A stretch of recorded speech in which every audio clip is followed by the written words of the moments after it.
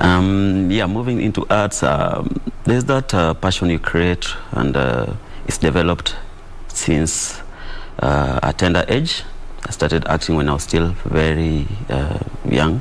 As everybody says, from primary, you graduate now with the system, uh, go to secondary, finish, and uh, go to campus, still do the same same thing. There's that thing you are creating, there's that passion you are creating, and also there's that um, talent you are growing with time. But then um, again, your parents want you to uh, do a course that they wanted you to, to do. And uh, more often than not, you find uh, actors, or rather these talents, uh, not nurtured to the latter. So that's actually one of the uh, reasons I took that uh, bold decision and said, uh, despite the fact that I'm still a software developer, I'll still have time to um, like push the arts. Push your passion.